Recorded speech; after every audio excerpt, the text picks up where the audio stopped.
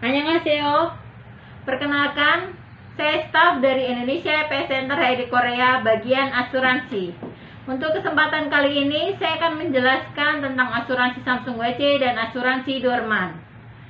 Pertama, asuransi Samsung WC terdiri dari asuransi jaminan kepulangan kerja atau yang biasa rekan-rekan sebut dengan pejigem atau uang pesangon.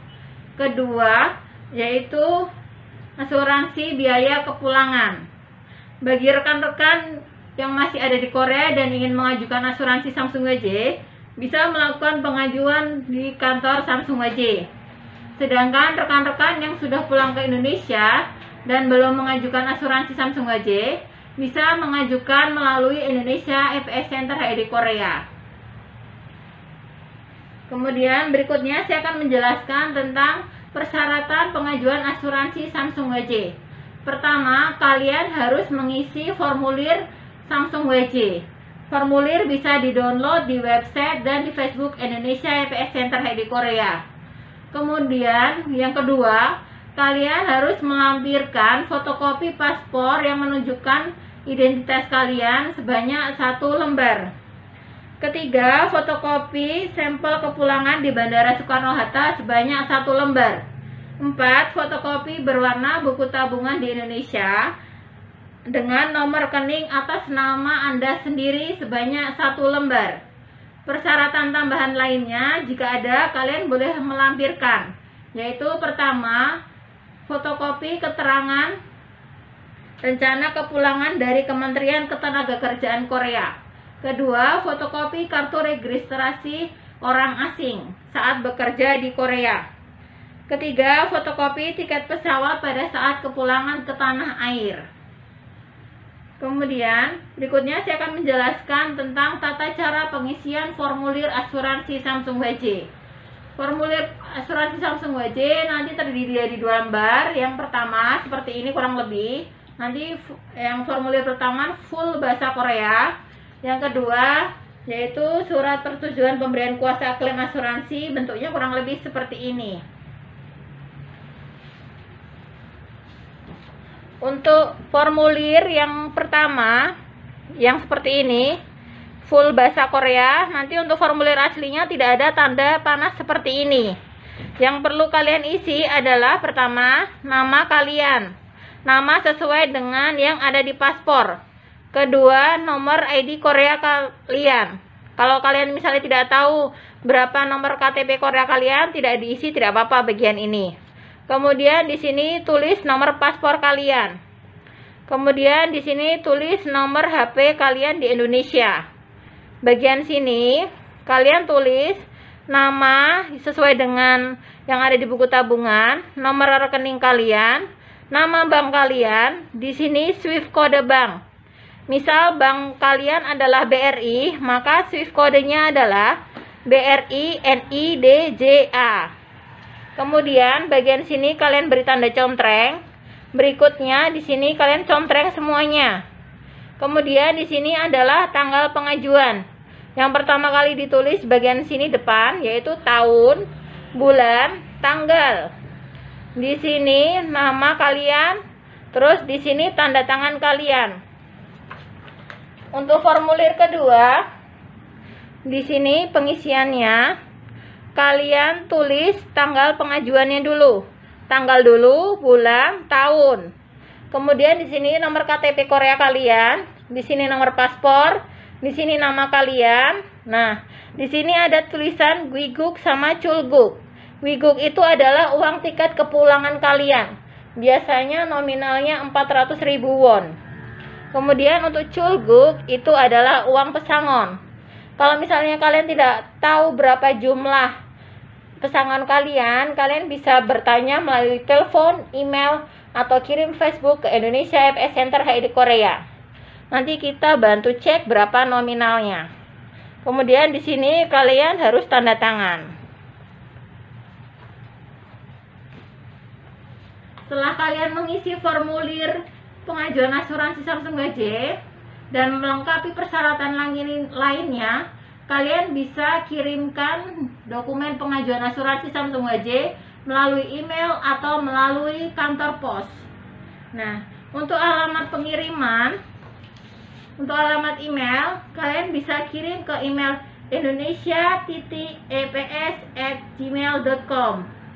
Untuk alamatnya Indonesia EPS Center dari Korea, Wisma Korindo lantai 9, Jalan MT Haryono Kavling 62, Jakarta Selatan, kode pos 12780. Kemudian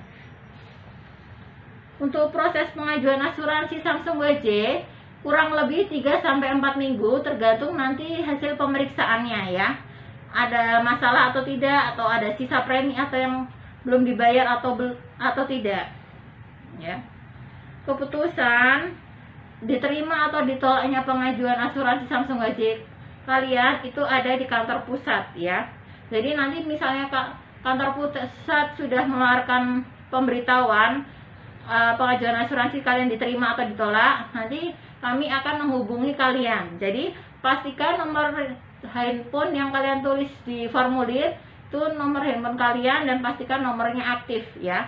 Jadi supaya kami mudah menghubungi kalian jika ada pemberitahuan. Berikutnya saya akan jelaskan tentang asuransi dorman.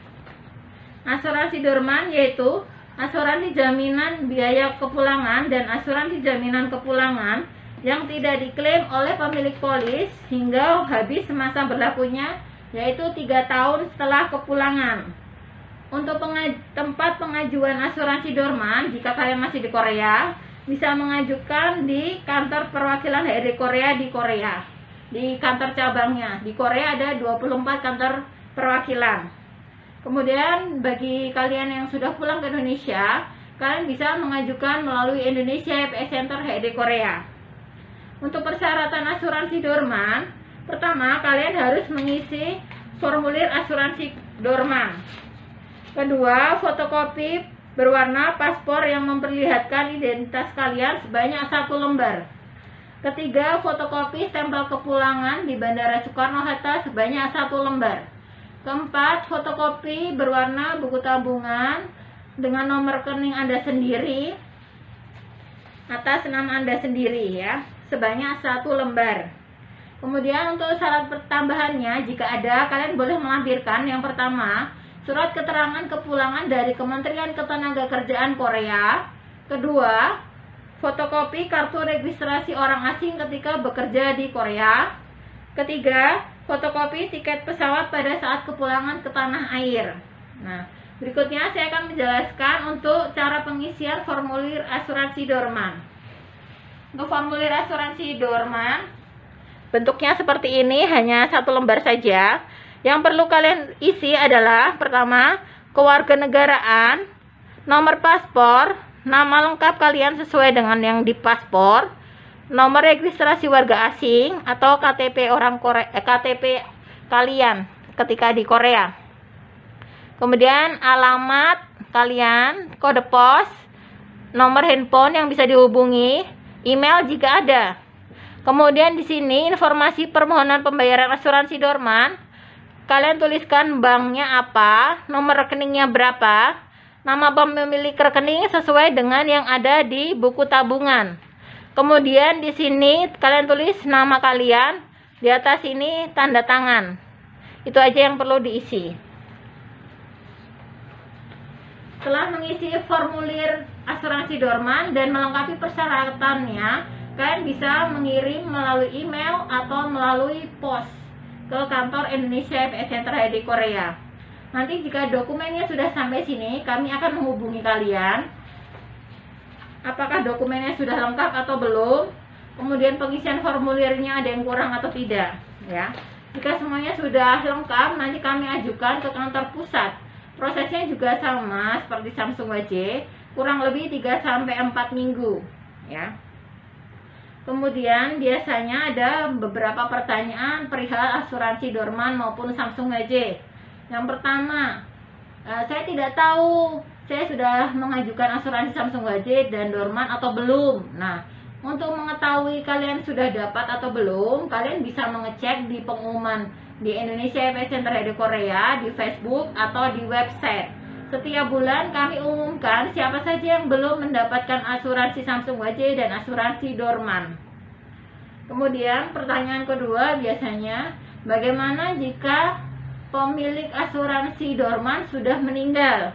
Nah, seandainya pemilik asuransi Dorman sudah meninggal, maka pihak wali atau penerima kuasa itu boleh mengajukan asuransi Dorman. Untuk persyaratannya, jika pemilik asuransi Dorman sudah meninggal, yaitu pertama yang perlu di kirimkan adalah formulir asuransi Dorman.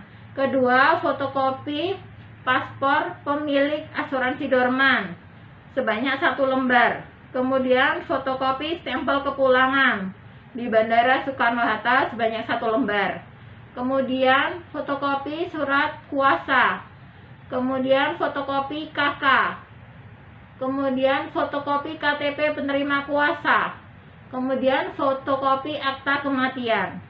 Penerima kuasa yang boleh mengajukan asuransi asuransi dorman yaitu uh, wali atau keluarga yang masih berada dalam satu kakak dengan pemilik polis asuransi dorman ya.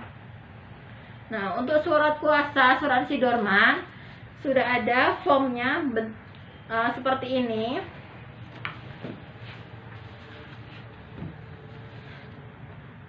Seperti ini bentuk surat kuasa permohonan pembayaran asuransi dorman. Yang perlu diisi pertama bagian penerima kuasa yaitu kewarganegaraan, nama penerima kuasa, tanda tangan, alamat, nomor handphone, email jika ada.